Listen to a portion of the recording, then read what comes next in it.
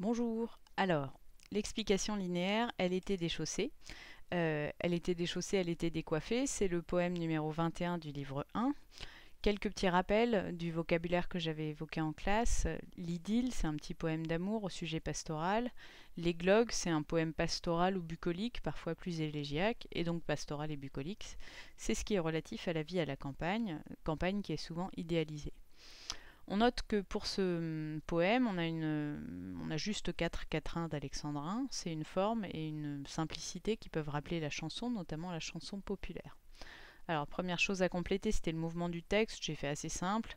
L'invitation, l'hésitation, l'acceptation. L'invitation pour les deux premières strophes, l'hésitation pour la troisième et le premier vers de la quatrième, et l'acceptation pour les derniers vers. Piste de lecture qui était également à compléter. Comment cette idylle décrit-elle une rencontre amoureuse bucolique à travers un registre lyrique simple? Premier mouvement. Euh, on note qu'il y a un jeu de regard au fil des strophes. Euh, tout d'abord, dans la strophe 1, on a Je crus voir, donc le poète qui est sujet, et euh, la jeune fille qui est objet. Aux strophes 2 et 3, Elle me regarda, donc cette fois-ci c'est la jeune fille qui est sujet, le poète objet, et on va retrouver la même chose dans la strophe 3. Et je vis venir à moi la belle fille, euh, dans la quatrième strophe, on va observer du coup un effet de chiasme, je, elle, elle, je. Et euh, chiasme, c'est comme, euh, comme quand on a des rimes embrassées, donc là on a l'impression que les regards s'embrassent hein, et que le poète enveloppe en quelque sorte la jeune fille. Ce début de poème nous donne une impression d'anecdote toute simple, de poème narratif qui va nous raconter une histoire. Moi qui passais par là, donc avec un effet de hasard, une alternance entre les temps de l'imparfait et du passé simple, l'imparfait pour la description, le passé simple pour les actions. On a l'insertion du discours rapporté direct. Je lui dis, verbe de parole, deux points, il n'y a pas de guillemets mais ça revient au même. Veux-tu t'en venir dans les champs? Point d'interrogation. Tout cela nous permet de faire facilement entrer le lecteur dans l'idylle. Pour ce qui est de la présentation de la jeune fille, on va accentuer sa beauté naturelle et la simplicité de cette beauté. On va avoir les adjectifs déchaussée, décoiffée, assise, euh, pour les pieds. À côté de cela, on a un regard suprême euh, qui va nous évoquer un regard franc, sauvage, fier, qui n'est pas civilisé. Euh, l'amour ici est une sorte de micro-combat entre nature et culture, mais le seul indice du combat amoureux potentiel, c'est le, verbe triompher, donc quand nous en triomphons. On va avoir à trois reprises dans ces strophes la répétition de veux-tu au début de question. Cette répétition évoque la chanson avec l'anaphore et je lui dis euh, à deux reprises, vers 4 et 7. Donc à cela s'ajoute un vocabulaire simple. Hormis euh, déchausser et décoiffer au début, on a surtout des mots courts de une ou deux syllabes, ce qui peut évoquer une chanson populaire. Cette chanson nous raconte euh, une rencontre amoureuse qui va donc impliquer le registre lyrique. Ce registre lyrique se voit avec les pronoms je euh, du poète, tu dans les questions, nous dans nous en aller, dans le vers 8. Donc ils finissent par être euh, réunis en quelque sorte dès la deuxième strophe. Mais euh, ce jeu est assez simple. Euh, on a à côté de cela une seule image. Hein, cru voir une fée, donc la présence de la fée, qui n'est pas forcément une image très élaborée. Et les hyperboles elles-mêmes ne sont pas très exagérées ou grandiloquentes. On a le regard suprême, les arbres profonds. Pour les sentiments, le sentiment amoureux est assez clairement exprimé avec le verbe aimer, le moi où l'on aime. Et enfin, euh, pour noter la simplicité de ce lyrisme, on observe les questions familières avec le tutoiement. Veux-tu, euh, et puis euh, très direct, hein, veux-tu nous en aller sous les arbres profonds? La nature participe à l'invitation à l'amour. on note la variété et l'immensité de celle-ci, les arbres profonds, les joncs, les champs, les bois. Euh, on note aussi que la rime entre penchant et champ, donc les joncs penchants et les champs, évoque la position couchée. Donc euh, bon, là euh, c'est assez explicite. la nature invite à s'allonger sous les arbres et en toute discrétion puisque les arbres sont profonds. On note une périphrase pour le mois de mai, c'est le mois où l'on aime, aime, mai. on retrouve en anagramme le mois qui est en question. Ce mois évoque bien sûr le printemps, le printemps lui-même évoque la jeunesse et donc la naissance de l'amour. ce qui nous donne le thème extrêmement classique en poésie, le renouveau de l'année, le renouveau de la nature nous invite à l'amour. Et enfin, la scène se passe au bord de l'eau. L'eau pourrait suggérer la tristesse et le temps qui passe, mais ici, ça va plutôt justifier le côté dénudé de la jeune fille. Soit elle va se baigner, soit elle vient de se baigner. Elle est déchaussée, les pieds nus, ce qui n'est pas décent à l'époque. Hein. Et puis, euh, la fée peut aussi constituer une apparition qui est liée à l'eau. On pense aux sirènes ou à Mélusine. Dans le deuxième mouvement, c'est l'hésitation de la jeune fille. Euh, on note toujours une anaphore avec le elle essuya, elle me regarda, et en plus les répétitions de comme à la fin de la strophe et au début de la suivante. Donc euh, on a le même effet de chanson populaire que dans la première strophe.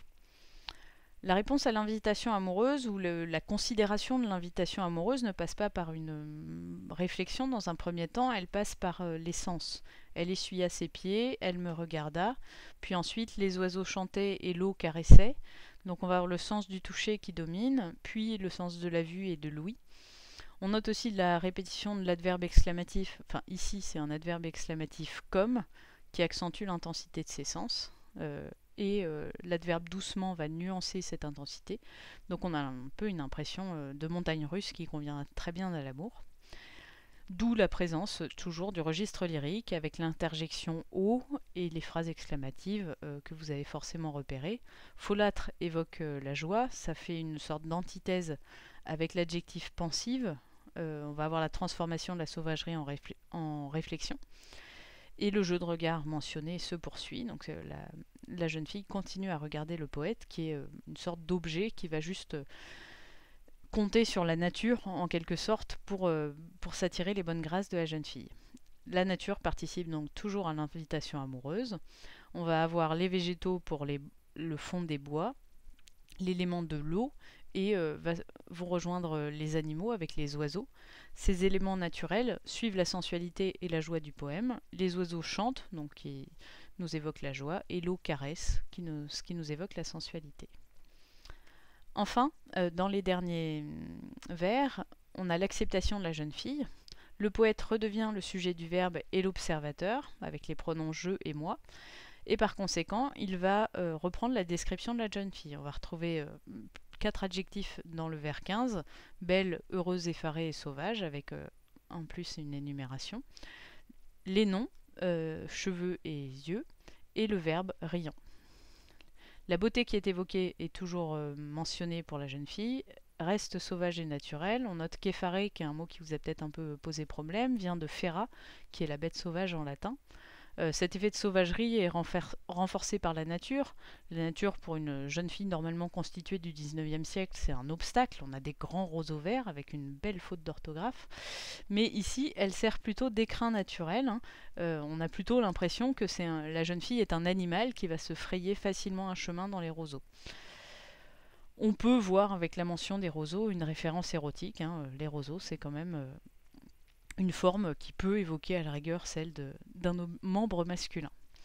Mais pour poursuivre sur le fait qu'elle se fraye un chemin, on va avoir l'allitération en V euh, qui va nous indiquer euh, ce mouvement, vie, venir, vers, cheveux, travers, vers 14 et 16. Donc euh, ça peut indiquer soit le mouvement du vent, soit plutôt le, mouvement de la jeune fille hein, qui vient en plus avec le V vers le poète. Ça confirme l'acceptation de l'invitation qu'on avait déjà avec Je vis venir à moi. Le sentiment de joie continue à être dominant, c'est la joie de la jeune fille, euh, et la, joie l'emporte quasiment sur l'amour dans ce poème. On a heureuse et riant, euh, là où on n'a plus pas de mention de sentiment explicite. On note aussi qu'il y a un effet de reprise du début. Euh, l'adjectif belle vers 15 reprend le mot beauté vers 6. Les cheveux dans les yeux reprennent le premier vers, elle était décoiffée. Les roseaux verts font écho, donc des, plantes d'eau font écho aux gens penchants de la première strophe. Ce n'est pas un poème savant, mais un, poème très simple avec un effet de ritournelle créé par ces reprises. Enfin, euh, et un peu pour conclure, on note que la jeune fille, donc euh, avec les cheveux dans les yeux, elle est ce qu'on appelle en cheveux, c'est-à-dire elle n'a pas de chapeau. Ce n'est pas acceptable pour une femme du 19e siècle, hein, comme de montrer son pied au verre d'eux. Cette jeune fille libre, c'est plus probablement une sorte de fantasme qu'une expérience réelle. Elle participe à l'évocation de l'éveil à l'amour et à la sensibilité de la nature qui vont de pair et euh, qui sont régulièrement associés dans le livre 1. dans les poèmes Werenowo, donc Werenowo ça veut dire le nouveau printemps, Lise, la coccinelle, vieille chanson du jeune temps, on a des mentions de flirt dans les champs, dans les bois, comme cela, qui vont être très très récurrent. Euh, c'est la majorité des poèmes entre le, dans le livre 1 entre le poème 11 et le poème 22. Et au début du livre 2, on va retrouver un peu cette atmosphère, mais cette fois-ci un peu plus sérieuse, puisqu'elles évoquent, euh, ces poèmes évoquent plus probablement sa femme. Ce poème n'est pas forcément très bien reçu, on est encore dans une époque puritaine, mais euh, à côté de cela, il est narrativement très précis. Ça ne veut pas dire qu'il soit très réaliste. Il reste dans le genre de l'idylle. Euh, c'est euh, viens, on va se promener dans la, campagne pour, flirter dans les bois. Et il n'a pas pour but d'être réaliste, il a pour but de montrer l'association entre la nature et l'amour. Voilà, à demain.